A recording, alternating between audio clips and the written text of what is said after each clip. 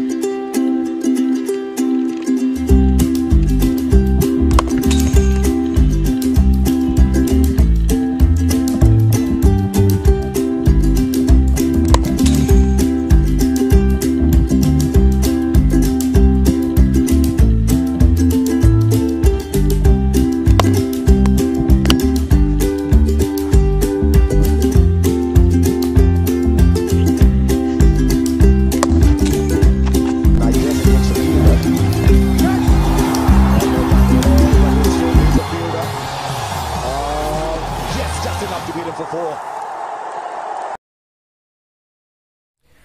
अगर आप चाहते हो कि कंटिन्यू में इस